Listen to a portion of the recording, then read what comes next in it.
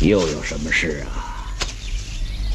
跪了大半天，是不是有话要跟我说？徒儿仍不时做噩梦，请师傅能赐徒儿解脱之法。我不是说过吗？昨日种种，昨日死。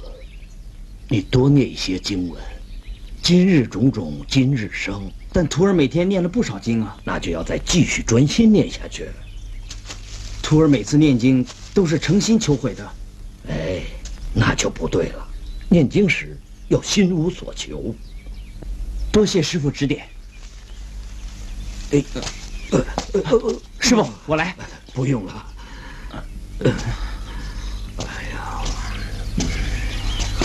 师傅，其实以后你不用天天来了，有我们徒弟在。你为什么还如此操劳呢？为大众操劳也是一种修行。你以后的修行在我之上，一念之善也可成佛。君子应自强不息。那是儒家之说。师道儒本是一家，哪有分别？最重要的是心安理得。神光，不要太执着。